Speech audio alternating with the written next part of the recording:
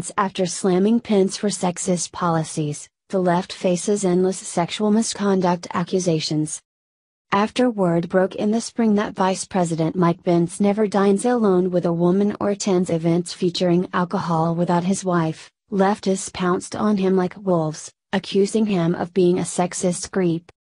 But as noted earlier this month my blogger Matt Walsh in a piece for the Daily Wire, when all is said and done, Mike Pence may be the only man left standing.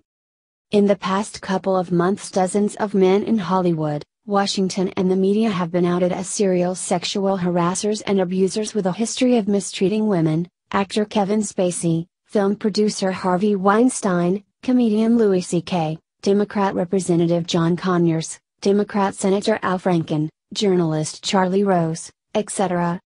A list compiled this week by the Associated Press goes on for days, though the presence of many leftist Hollywood fat cats is unmistakable.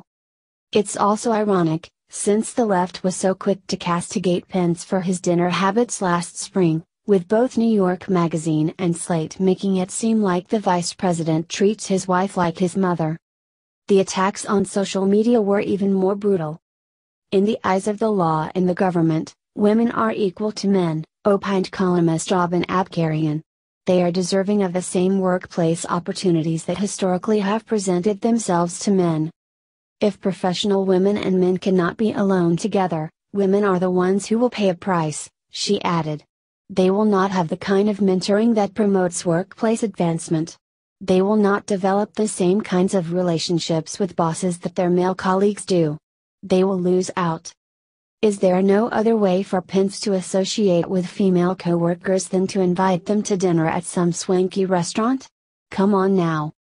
Dovetailing back to Walsh's piece for the Daily Wire, he rightly noted why neither Pence nor his wife ever have to worry about getting caught up in a sex scandal. The vice president and his wife don't have to worry about being embroiled in one of these scandals because they never allow themselves to be alone with a member of the opposite sex, Walsh wrote. They don't do lunch dates.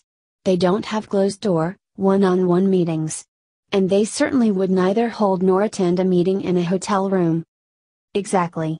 They keep their professional encounters, wait for it, professional. What a radical thought, right?